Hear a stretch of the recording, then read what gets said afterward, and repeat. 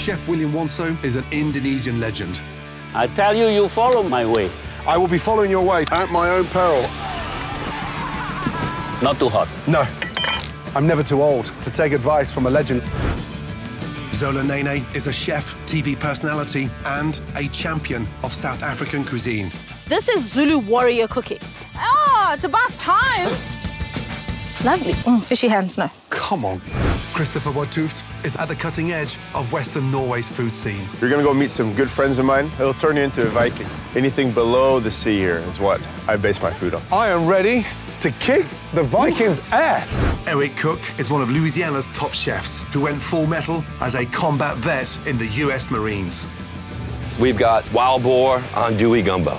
Got to make a roux like this. Look at that dark color. Take some of this popcorn rice, little green onion. Don't get fancy on me now, Eric. I'm trying not to. Thank you. Sri Bala comes from an Indian food dynasty. You're in the spice hub. I'm going to make a curry. Keep it simple. Keep it don't, simple. Don't overpower them. Only then the flavors come out.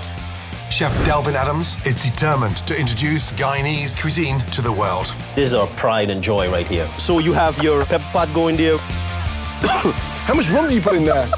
Analiese Gregory is a culinary nomad. just seems silly to be flying in things from other places when Yeah. you can just use what's here. I just thought that I would knock together some flatbread, and I made some fresh goat's cheese. Now you are really showing off. I'm desperate to learn that secret to those incredible warriors. Some of the most diverse flavors anywhere in the world. So I've got a week to get up to speed. You're on my home turf here. So we're gonna send you on a mission. At the end of the week, we'll see what you have. I've been humbled by incredible hospitality and learned traditions that go back centuries. This could be my toughest cook-off yet.